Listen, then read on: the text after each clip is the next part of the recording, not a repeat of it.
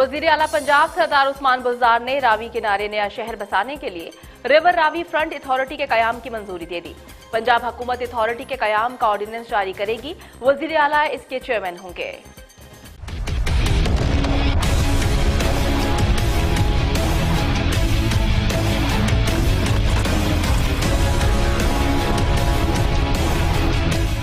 पंजाब हुकूमत ने लाहौर के शुमाल में जदीद शहर बसाने के मामले पर अलहदा अथॉरिटी के क्याम का फैसला किया और इस हवाले से वज़ीर अला पंजाब ने रिवर रावी फ्रंट अथॉरिटी के क्याम की मंजूरी दे दी है। पंजाब हुकूमत अथॉरिटी के क्याम के लिए ऑर्डिनेंस जारी करेगी। वज़ीर अला पंजाब उस्मान बुजार अथॉरिटी के चेयरमैन होंगे। अथॉरिटी नया शहर बसाने के लिए काम करेगी। नया शहर दुबई की तर्ज पर बसाया जाएगा। नया शहर एक लाख एकड़ से जायद रकबे पर बनाया जाएगा।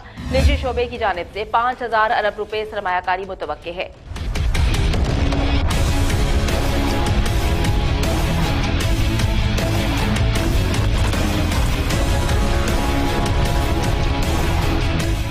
नए शहर में हाई राइज बिल्डिंग्स के कयाम को तरजीह दी जाएगी। नए शहर में बड़ी झील, तीन बैराज भी बनाए जाएँगे। नया शहर बसाने से लाहौर की आबादी और यहाँ पैदा होने वाले पानी और दीगर मसाइल से निपटने में भी आसानी होगी और वसाइल की फरहमी में बेहतरी लाई जा सकेगी।